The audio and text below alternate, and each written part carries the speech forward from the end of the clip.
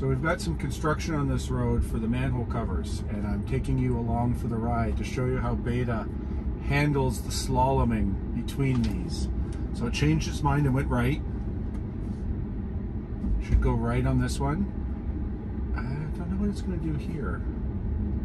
It's going to slalom between the two. Yep. Should go left. Okay, no, it's got room. There we go. So it didn't even miss a beat on that. There we go. So it 500 slalom feet, through those. Turn right.